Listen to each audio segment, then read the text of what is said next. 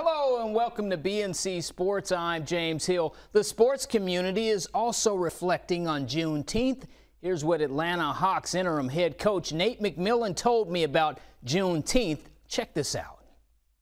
This weekend marks Juneteenth. When we think about the history of our nation and the concept of Juneteenth, uh, what goes through your mind? I mean, it's, it's, I mean, just the fact that we are just uh, really recognizing this uh, uh, this year is, is, really shocking and uh, disappointing. And, uh, you know, I'm glad that, you know, there's been so many people to continue to fight uh, to bring uh, up the past, you know, of what has happened in this country uh, to Black folks and, you know, to recognize that, you know, President Biden to recognize that day and make it a, a national holiday. I, I, think is great, you know. So, but it's it's been too long uh, that a lot of these issues uh, that have happened in this country uh, is being brought to the attention of uh, you know the, the people here in America. All right, thank you, Coach. Sixers at Hawks game six. Second quarter, watch Ice Trae Young canning three of his 34 points. Atlanta up by six. Third quarter, Seth Curry will pull up and drop in three of his 24 points.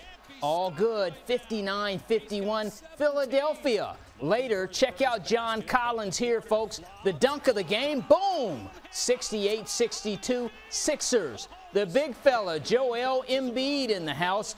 He helped the Sixers to the victory with 22 points. Philadelphia 104, Atlanta 99, your final. Game 7, Sunday, 8 p.m. Eastern in the city of brotherly love. Also in action on the west side, Clippers hosting the Utah Jazz Game 6. Terance Mann is the man in the zone. He scored 39 points and helped the Clippers knock off the Utah Jazz at Staples Center. LA Clippers 131, Utah Jazz 119 your final. The Clippers win the series, folks. Four games to two, advancing to their first ever Western Conference Finals. LA Clippers at Phoenix Suns. Game one Sunday, 3:30 p.m. Eastern. All right, HBCU football. This is induction day for the Black College Football Hall of Fame class of 2021. Six of the greatest black college football players are all of all time are being enshrined. Folks, you're looking at six new Hall of Famers. Coy Bacon, the defensive lineman out of Jackson State, Greg Coleman, the punter out of Florida A&M, Jimmy Giles, tight end out of Alcorn State University, Mr. Winston Hill, the offensive lineman out of Texas Southern University, Roynell Young played safety and defensive back for the Alcorn State University Braves and the coach, Willard Bailey, who you know from Norfolk State, St. Paul's College, and Virginia University of Lynchburg. Coach Bailey is a seven-time CIAA championship coach, the Black College Football Hall of Fame class of 2021. What a beautiful thing. Also, the HBCU football, the second annual Black College Football Hall of Fame Classic featuring outstanding HBCUs. How about Grambling State University versus Tennessee State on September 5th, the kickoff 2021.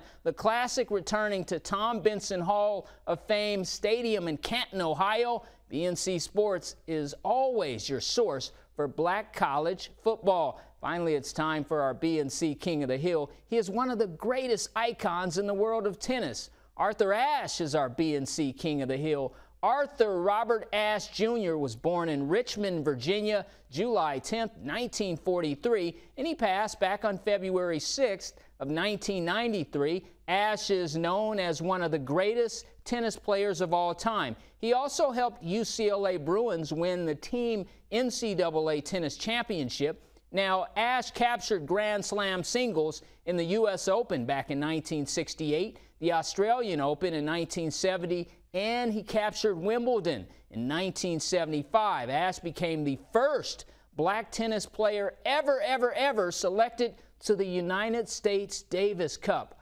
Arthur Ashe is a legend, and he is our BNC King of the Hill. We will be right back with me and you together, James. but it, it's a, I want to talk about the the coach who brought up Juneteenth, and just to hear so many people recognize the importance of this holiday, um, because again, it's historic, right? Definitely. You know, the uh, athletes are not exempt from the black experience. So I had one gentleman tell me that when they leave the practice field, uh, they can't unzip their blackness. Uh, they can put their jerseys away, mm -hmm. but when they get in their luxury car and ride down the street, you know, they kind of uh, want to make sure they're safe and sound as well. So they definitely are, are thinking about uh, the struggles in this nation yeah. and in this country as we move forward. And we all look back to Texas mm -hmm. to that time when Juneteenth was definitely an instrumental day, and we pay homage to that on this day. Yes.